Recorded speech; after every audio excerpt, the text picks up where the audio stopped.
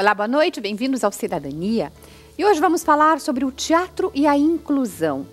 Qual o papel da arte na promoção da acessibilidade?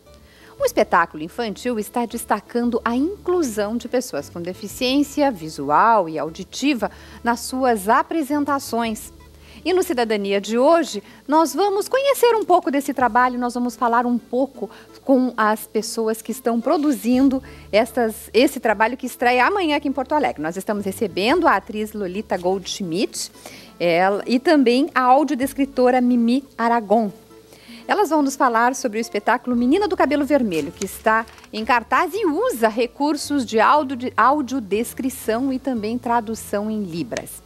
E comigo aqui no começo do programa inteiro, retornando das férias com muita energia, a colega Mariana Baia. Boa noite também, Mariana. Muito boa noite, Helena. Boa noite às nossas convidadas. E no início do programa a gente sempre lembra que você aí de casa é nosso convidado para participar do Cidadania. Você pode participar, mandar seus comentários, sugestões, perguntas através do nosso Facebook, facebook.com barra cidadania TVE e entra lá, curte a nossa página, faça suas sugestões, suas perguntas. Ou você pode interagir com o programa também através do nosso telefone 3230 1530. Estamos esperando a sua participação.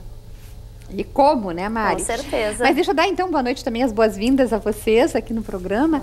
É, essa peça, né, ela se baseou num livro, acho que a Lolita, escrito pela própria Lolita, a menina do cabelo vermelho, está aqui o livro. E eu queria te perguntar assim, a preocupação, a peça, a preocupação que quando escrevesse o livro, tu já tinha essa preocupação com a acessibilidade?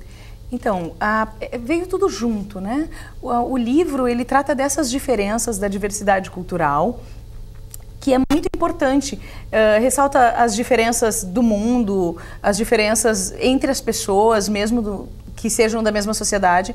Então, a acessibilidade, ela entrou junto. Um desejo de poder fazer esse espetáculo para todo mundo.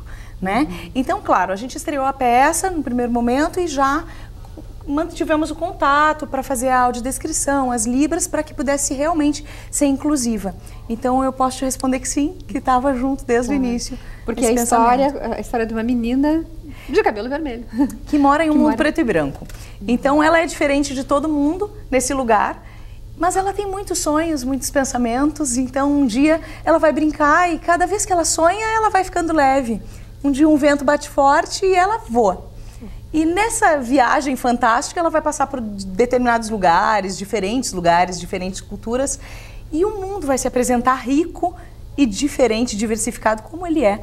Então, não tinha como não colocar acessibilidade no espetáculo, ah. porque ela está aí. Isso, Mariana. Como é que surgiu, então, essa preocupação com a acessibilidade? Já foi desde o do processo em que vocês pensaram a montagem do espetáculo ou isso surgiu agora? Como é que foi? Então, a gente começou pensando que gostaria de colocar esses recursos. No início, eu não dominava muito bem. Uh, o que, que seria audiodescrição, Libras já conhecia um pouco mais, então eu fui fazer um curso né, de extensão de audiodescrição e me apaixonei absolutamente pelo recurso e disse eu quero fazer isso. E trouxe para a Diana Manente que é minha sócia da companhia da Las Brujas disse ó oh, Diana tá aqui vamos fazer e aí a gente encontrou a Mimi, encontrou o pessoal da Tagarelas e foi um encontro lindo. E aí elas nos deram absolutamente todo o suporte para fazer. E eu comecei a me aventurar nesse roteiro, uhum. cheia de medo no início, né? Porque muda Mas, muito. Muda muito e é, é uma experiência artística diferente. Agora, nos ensaios para audiodescrição, é riquíssimo. Tanto para o ator quanto eu acho que vai ser para o público. Mimi, porque, como é que funciona? Tu poderia explicar para a gente como é que funciona a audiodescrição no teatro, só para o público entender? Uhum. A gente faz um, na verdade a gente faz uma leitura, né, Lolita, das, da, da, do que é, dos elementos que são visuais do espetáculo, né, e, e, e descreve esses elementos, descreve uh, os cenários, descreve os figurinos, a, a, caracterização dos personagens, né, a própria ação dos personagens e faz um roteiro prévio, né? Quem faz isso são os próprios atores, os próprios personagens, ou isso vai ser feito? Não, isso na verdade quem fez foi a Lolita, Com que já a... dominava ah! o espetáculo, né? Ela fez essa descrição, a gente fez uma revisão, que já tem uma experiência um pouco maior na uhum. linguagem da audiodescrição, a gente fez essa revisão do roteiro dela, uh, esse roteiro está pronto já, a gente está ensaiando com ele ele, com, com, com um elenco. Uh, então a gente não, não, a descrição é feita ao vivo, é feita ao vivo, mas a partir de um roteiro que está pronto já. A gente não faz a descrição, a gente não descreve ao vivo, claro. não se improvisa claro. ao vivo, né? E essa uh, tradução ela é feita para todo o público no teatro ou especificamente para algumas pessoas? Existe fone de ouvido ou não? Como é que vai acontecer? Na Menina do Cabelo Vermelho a gente vai fazer, foi uma opção da, da Las Brujas, da Lolita, da Diana, de fazer uh, a audiodescrição aberta. Todo mundo que estiver no teatro vai escutar essa descrição, né? Foi uma... Fala um pouquinho, Lolita, é, sobre essa...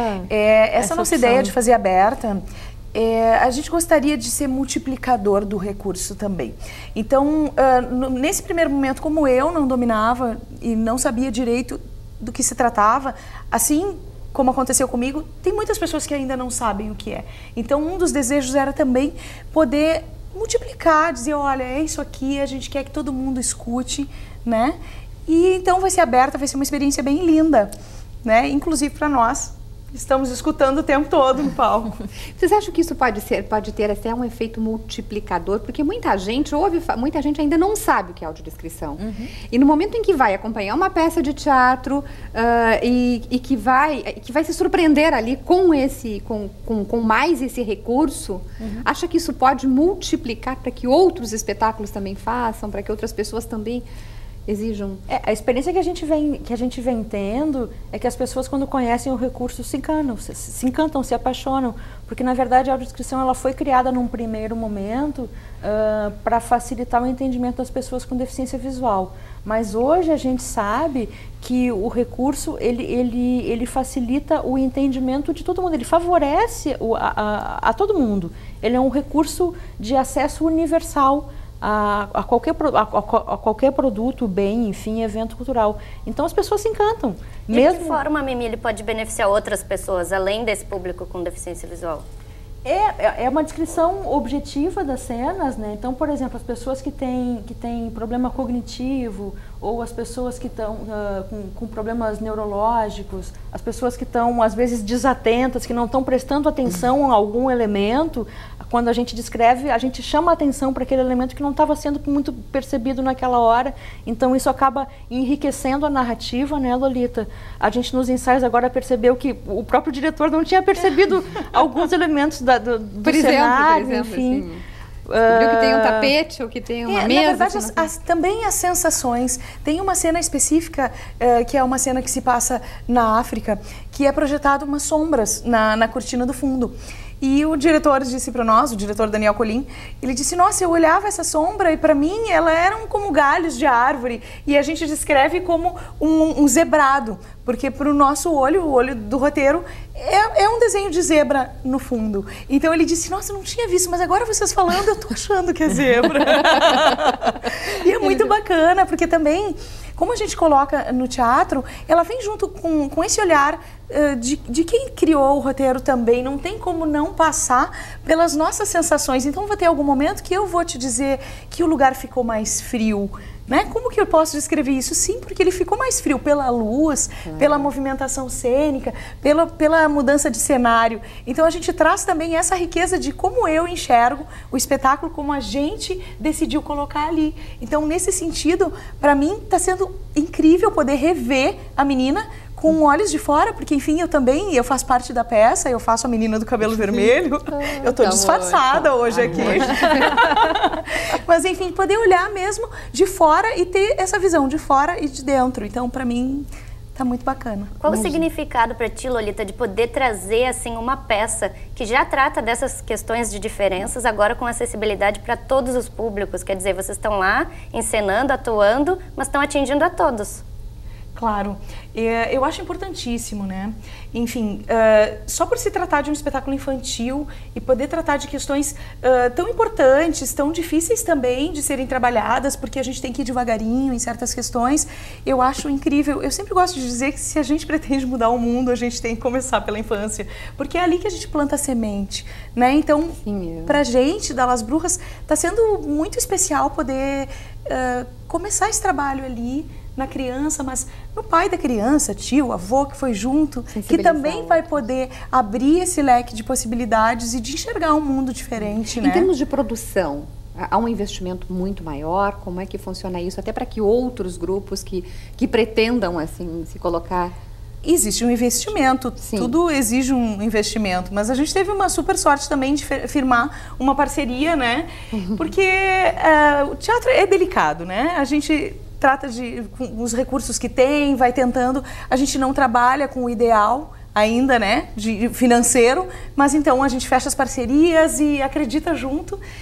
Mas é possível, eu, mais eu diria pessoas, que é Mais pessoas estão acreditando, isso é que importa. Sim, o importante é que a gente tenha a vontade de fazer, que a gente tenha a vontade de realmente uh, se apoderar desses recursos e de, de inserir no grupo e no pensamento das uhum. pessoas. Aí a gente consegue com recurso financeiro, sem recurso financeiro, com amor, enfim, a gente vai fazer. Claro. Mimi, como, é que, né? como é que vocês notam assim, essa importância da audiodescrição já na infância? Quer dizer, para o público infanto-juvenil, começar agora, aí é o teatro, com acessibilidade, crianças cegas, crianças com baixa visão, estão podendo ir lá assistir a menina do cabelo vermelho. Daqui a pouco vão poder assistir outras peças também com audiodescrição. Como é que tu nota a importância disso? Ah, isso é super significativo. Assim, a gente percebe que embora a gente tenha um quarto da população brasileira com algum tipo de deficiência, de algum tipo e grau de deficiência, e desse, desse percentual uh, a maioria seja de pessoas com deficiência visual, a gente sabe que as pessoas não têm a cultura de ir ao teatro, de ir ao cinema, porque não existe produto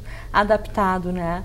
Então, os pais dessas crianças que, que vão ao, ao, teatro amanhã, vão ter oportunidade, eles não, eles não foram ao teatro, ao cinema quando eram crianças, né? E é muito bacana a gente poder estar... Tá uh, dando acesso hoje, porque esses pequenininhos que vão amanhã, eles vão crescer já com essa vontade de ir ao teatro. Quer dizer, eles foram pequenininhos e vão crescer e vão dizer, escuta, eu fui pequenininho, eu vou querer continuar indo ao teatro, ao cinema. Então, eles, essa geração vai estar diferente, né? Eles vão ter os filhos deles e as coisas a gente acredita que, que vão mudar daqui para frente. Vão demandando, a gente, né? mas, uh, mas Mimi, Mariana, Lolita, vou convidar vocês, olha só um telespectador nosso, através do Facebook, o Felipe, Felipe Mianes, da Parabeniza toda a iniciativa. Uh, parabeniza vocês, é claro, pela iniciativa e diz: tomara que outros tantos produtores culturais também entendam que a acessibilidade faz bem para todo mundo e que é mais do que um custo, por isso que eu falei aqui contigo, né? É um respeito ao público e à sua diversidade. Acessibilidade e arte é sempre tocante. É. Verdade. É lindas palavras.